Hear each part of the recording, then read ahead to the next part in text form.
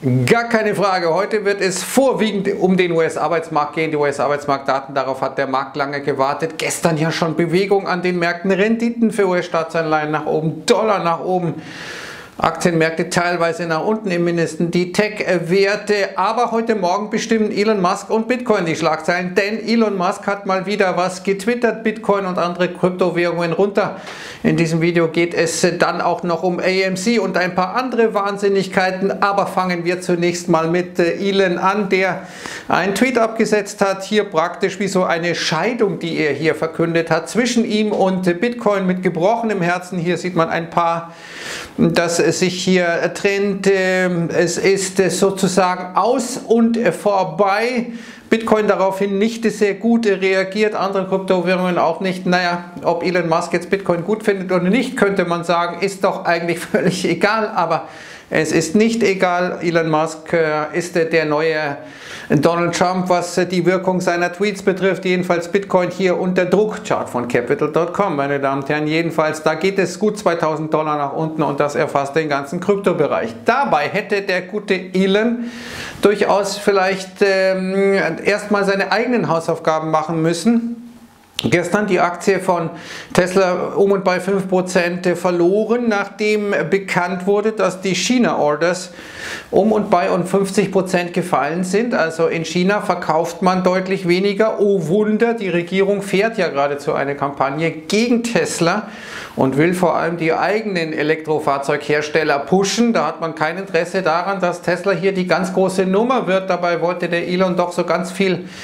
bauen in ähm, China daraus wird wohl nichts und das beginnen langsam die Märkte so ein bisschen durchzuholen. Deswegen äh, gestern die Tesla-Aktie unter Druck. Unten sehen Sie mal die äh, Verkäufe von amerikanischen Konzernen, respektive auch NIO mit dabei in China in Sachen Elektrofahrzeuge und siehe da, General Motors ist deutlich vor Tesla, hat sie deutlich überholt. Tesla jetzt mit den neuesten Mai-Zahlen ziemlich abgestürzt, während äh, hier General Motors ähm, und BYD äh, NIO etc. hier durchaus besser dastehen, eine Aufwärtstrend-Tendenz aufweisen, Tesla dagegen einen Abwärtstrend. Das ist natürlich jetzt äh, schon ein Knackser an dieser unendlichen Wachstumsstory, an die viele geglaubt haben. Aber schauen wir uns mal jetzt die Entwicklung seit Jahresbeginn an bei verschiedenen Aktien. Ford 81% seit Jahresbeginn, General Motors 51% gestiegen, die Aktie. Wir haben gesehen, General Motors jetzt deutlich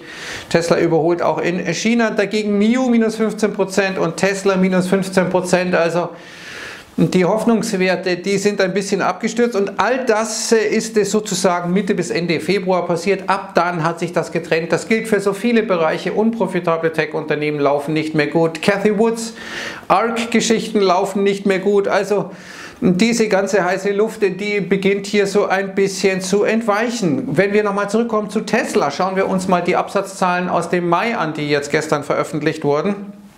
Tesla, wie Sie hier rechts unten vielleicht sehen, 2744 Fahrzeuge. Das ist so um und bei der Durchschnitt der letzten Monate. Irgendwann könnte man vielleicht mal glauben, müssen die Verkaufszahlen mal nach oben gehen. Dann sagen die Tesla-Fans immer, ja, Sonderfaktoren, Sonderfaktoren. Ne? Also draußen ist es kälter als nachts oder nachts ist es kälter als draußen. Also wie ist das zu verstehen? Irgendwann muss mal hier geliefert werden. VW zum Beispiel liefert alleine 45.000 Fahrzeuge mit Seat, mit Skoda, mit Audi ist man wieder bei äh, fast 90.000 Fahrzeugen und das seit Monaten konstant hier Absatz. Das ist realer Umsatz, meine Damen und Herren, und nicht die Tesla Luftnummern. Es ist leider, wie es man muss es leider so sagen, glaube ich. Das hat mit Tesla-Bashing nichts zu tun, sondern ich will einfach mal Fakten sehen und nicht heiße Luft, die Elon Musk ständig verbreitet. Jetzt sehen wir, dass Tesla übrigens auch Probleme hat. Dritte Rückrufaktion für Model 3 und Model Y jetzt äh, in äh, einer einzigen Woche. Das ist natürlich auch ein Problem. Ähm, I wonder why it takes so long to recognize defects. Also warum dauert es so lange, solche Defekte überhaupt zu erkennen? Also auf der einen Seite Rückholaktionen, die so ein bisschen die technischen Probleme zeigen. Wir sehen auf der anderen Seite, leidet Tesla wie andere Autobauer auch unter dieser Shortage an Chips. Dann auf der anderen Seite faktisch spielt man in Deutschland keine Rolle, dem wichtigsten Markt Europas, Marktanteil von 1,2 Prozent. Und in China wird es auch eng, weil eben Chinas Führung durch diese ganze Geschichte Sie haben das vielleicht mitgekommen, dass Elon Musk und Tesla sich da persönlich entschuldigen mussten, dass man den äh, chinesischen Konsumenten hier beleidigt habe etc. Also die Dinge laufen nicht so richtig gut und, das hier abschließend jetzt noch zu Tesla. Äh, Julian Bridgen, der kürzlich im Interview mit äh, Markus Koch war, zeigt hier, dass äh, die Aktie, wenn sie unter 280, wenn sie unter 580 ähm, Dollar schließt und das ist gestern passiert. Der Weg frei ist bis 465 Dollar. Da ist die zentrale Unterstützung, also durchaus möglich, dass Tesla hier weiterfällt und das wäre auch für den Gesamtmarkt angesichts der Bedeutung von Tesla gar nicht so unwichtig. Kommen wir nun aber zu dem, was für die Märkte heute wirklich wichtig ist, die US-Arbeitsmarktdaten. Konsens so um und bei 600 bis 675.000. Im April hatten wir ja nur 266.000. Das war eine schwere Enttäuschung. Die Schätzungen schwanken zwischen einer Million und 335.000. So kommt man dann auf diese 600 und ein paar zerquetschte 1000. Arbeitslosenquote 5,9 Prozent. Äh, wichtig aber die Average Hourly Earnings 1,6 Prozent zum Vorjahresmonat und 0,3 erwartet. Darauf wird zu achten sein, vor allem auf die Stundenlöhne. Wie stark ist der Inflationsdruck? Wir sehen ja in allen Einkaufsmanager-Indizes massiven Preisdruck, nicht nur in den USA, sondern eben auch in Deutschland, in ähm, China. Dazu gleich mehr. Wichtig wird sein, dass Biden sich dann 15.15 .15 Uhr zu den Zahlen äußern wird. Joe Biden, das hat dann dazu geführt, dass die Erwartungen gestiegen sind, noch stärker gestiegen sind an die Zahlen, denn gestern hatten wir den ADP, der mit 978.000 deutlich über der Erwartung war. Wir hatten auch dann die Jobless Claims, die gut waren jetzt äh, im Mai. Also das spricht eher für starke Arbeitsmarktdaten, für schlechtere Arbeitsmarktdaten. Sprechen dagegen die Einkaufsmanager-Indizes, ISM, aber auch Philly-Fed und Empire-Fed. Da sind die Komponenten Beschäftigung doch sehr schwach ausgefallen. Also das ist schwer zu kalkulieren. Dann gibt es noch die Seasonal Adjustments, die saisonalen Anpassungen. Das ist die riesen Blackbox. Ja. Da können viele hunderttausend plötzlich mal dazu addiert meistens dazu addiert oder eben äh, weggelassen werden. Also schwer zu kalkulieren, wo diese ganze Geschichte hinläuft. Kommen wir jetzt mal zur FED. Die FED sagt, ja, in Gestalt von Williams, äh, nein, es ist jetzt nicht die, Zeit, um das äh, Anleihekaufprogramm anzupassen, respektive kein Tapering. Da gab es ja kürzlich schon andere Äußerungen, nicht nur von Robert Kaplan, äh, aber hier einer der dovischen Mitglieder, nämlich Williams, sagt, nein, lasst uns das mal stecken. Und faktisch äh, tut die Fed auch nichts dergleichen, wie Ottavio Costa hier zeigt, hatten wir in der letzten Woche alleine Käufe von 32 Milliarden Dollar, das ist der höchste Wert seit äh, langer Zeit, seit, äh, wann war das, Dezember 2020, also man drückt durchaus noch äh, aufs Gaspedal und wir sehen auch hier, dass die Fettbilanz jetzt ein neues Allzeithoch erreicht hat mit 7,94 äh, Billionen damit 36 äh, Prozent des BIPs. Waisenknaben, die Amerikaner. Wir Europäer schaffen es äh, mit unserer EZB auf 77 Prozent des BIPs und die Japaners mit 134 Prozent. Also da haben die Amerikaner noch wahnsinnig viel Potenzial. Gleichwohl gestern der Dollar stark gestiegen. Hier mit dieser dicken, fetten Ausbruchskerze nach oben Dollarindex und auf der anderen Seite Gold, andere Rohstoffe schwächer. Gold sehen wir hier hat dann nach dem Ausbruch Ausbruch aus dem Abwärtstrendkanal hier diesen dicken Rücksetzer. Könnte bedeuten, dass Gold noch weiter fällt, eben bis zur gebrochenen Aufwärtstrendlinie. Das wäre so um und bei 1820 Dollar vielleicht da ein guter Einstieg dann, wenn es so kommen sollte. Das wäre der Fall, wenn die Arbeitsmarktdaten heute stark sind. Insgesamt ja schwer zu beschreiben, was eigentlich heute die Reaktion auf diese Arbeitsmarktdaten sein wird. Auf der einen Seite, wenn wir heute auch wieder schwache Daten bekommen, könnte das gut für den Markt sein. Wir erinnern uns, letzte, letztes Mal im April die 266.000 Stellen, die Märkte erst so ein bisschen entsetzt kurz und dann hoch nach oben, weil man sich gesagt hat, ja, das wird bedeuten, dass die Fed eben weiter auf dem Gaspedal bleibt, nicht bremsen wird. Wenn wir jetzt aber den zweiten Monat eine schwache Zahl bekommen, dann würde das bedeuten, dass dieser ganze Boom, diese ganze Reopening-Hoffnung, Euphorie vielleicht doch viel zu übertrieben war. Das zumindest die Überlegung dann der Märkte. Also eine schlechte Zahl könnte bei zweitem Hinsehen schlecht sein und eine gute Zahl könnte auch schlecht sein, weil weil eben eine gute Zahl bedeutet, dass die FED dann vielleicht doch früher gezwungen ist, auf die Bremse zu treten. Also wir hatten äh, im April vielleicht eine andere Voraussetzung. Eine gute Zahl waren im April eben bullish, in beiderlei Hinsicht schlechte Zahl bullish, weil die FED da nicht auf die Bremse drückt, gute Zahl bullish, weil die Konjunktur läuft. Jetzt ist es ein bisschen anders durch die Gemengelage, die derzeit vorhanden ist. Das ist das Interessante an dieser Zahl. Ich kann mich irren, es ist eine Theorie, aber vielleicht mal drüber nachdenken. Jetzt äh, hier mit äh, der FED. Ich hatte ja ein Video gemacht, AMC, FED Tapering, dann haben die AMC-Jünger die sich normalerweise jetzt um Zusammenhänge nicht so scheren, um es einmal vorsichtig zu sagen, ja, was hat denn das mit der Fed zu tun?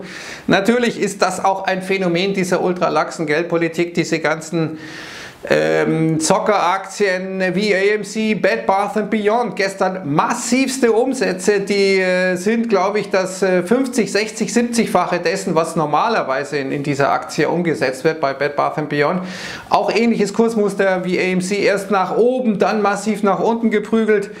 Also es ist äh, schon eine verrückte Geschichte. Das hat mit der Fed zu tun, das hat jetzt hier auch äh, etwa äh, Bill Dudley klargemacht, der ehemalige Fed-Chef äh, aus New York. Und ähm, das ist genau der Punkt, dass eben hier die ganze Geschichte so ein bisschen an diese Wall Street-Prozesse äh, Proteste erinnert 2008, Occupy Wall Street. Da wird dann immer oft gesagt, ja, es ist mir sogar egal in Sachen AMC und anderer Meme-Aktien. Es ist mir egal, ob ich Geld verliere. Hauptsache, ich ärgere diese Wall Street-Meute. Naja, da ist, glaube ich, diesmal mehr Gier dabei als Protest, aber es ist eine Komponente, die da vielleicht eine Rolle spielt. Die Fed hat es möglich gemacht. Sie schafft letztendlich das Surrounding. In Sachen Politik vielleicht noch wichtig, gestern hier Biden hat faktisch die äh, Blacklist bestätigt, die Donald Trump damals aufgestellt hat. 59 chinesische Unternehmen, darunter Huawei, China Mobile, also wichtige Firmen. Das ist der große Systemkampf, den auch Joe Biden fortsetzen wird zwischen den USA und China, was Biden intelligenter macht nach meiner Auffassung. Er nimmt die Verbündeten mit ins Boot, etwa Deutschland, die Eurozone. Nord Stream 2, da scheinen die Amerikaner jetzt bereit zu sein, das durchzuwinken. Man äh, gibt also den Verbündeten die Hand und das macht natürlich Sinn, wenn ich mich in einem Systemkampf wähne, wie die Amerikaner, wohl zu Recht sich wähnen, dann sollte ich besser meine Freunde an meiner Seite haben, statt äh, gegen die Freunde auch noch auszutreten. Das funktioniert nicht. Das war das Irrationale an der Politik von Donald Trump. In Sachen Teuerung nochmal wieder zurück zur Inflation, meine Damen und Herren, diesen gestiegenen Preisen und der Reaktion der FED darauf äh, sehen wir hier IFO-Institut heute mit einer frischen Meldung. Immer mehr Unternehmen planen Preiserhöhungen, eben weil die Inputkosten so stark steigen durch Rohstoffe etc. etc. Wenn jetzt die Löhne noch anfangen zu steigen, dann wird es kritisch. Kommen wir abschließend, meine Damen und Herren, nochmal zu AMC. Äh, hier sehen wir diese massive Schwankung der Aktie. Dann ging es äh, erstmal rauf auf 76 Dollar, dann ging es runter auf 38 Dollar, dann ging es wieder rauf, weil AMC mitgeteilt hat, dass man äh, hier bereits äh, diese Aktienverkäufe getätigt äh, habe. Aber ich finde interessant, einfach mal fundamental gesprochen, es gibt jetzt Stand 2. Juni 501.780.000 Aktien, die draußen sind. 501 Millionen. Im gesamten Jahr 2020 hat AMC 488 Millionen Dollar umgesetzt. Das heißt, es gibt mehr Aktien von AMC als ähm, AMC im Jahr 2020 äh, an Dollars verdient hat. Das sagt schon einiges. Nun gut, da war natürlich Corona. Allerdings muss man sehen, das erste Vierteljahr war ja kein Corona in den USA. Also bis weit in den März sind die Kinos völlig no normal gelaufen. Ich glaube sogar bis äh, Anfang April.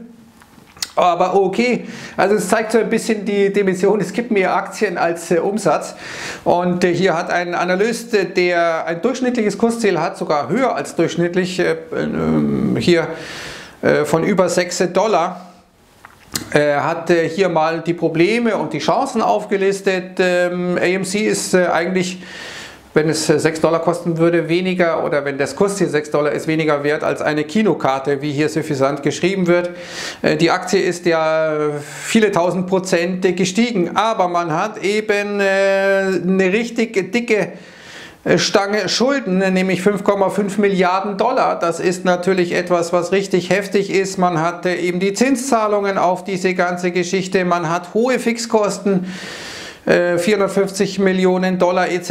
etc. Also das ist sozusagen das Problem, dass die Box-Office-Zahlen zurückgehen derzeit, also dass die Kinobesuche zurückgehen und die Aktie sozusagen sich völlig losgelöst von allen Parametern äh, ähm, orientiert. Als Short Squeeze, okay, verstehe ich alles, ist äh, vielleicht mehr, aber doch ein Gamma Squeeze, also dass die Broker da mitgehen müssen, indem sie die Aktie physisch kaufen, um sich abzusichern. Wolfgang Müller hat diesen Artikel geschrieben, Games, AMC GameStop, Kleinanleger spielen mit dem Feuer und er zeigt einmal die Dimensionen, worum geht es da eigentlich.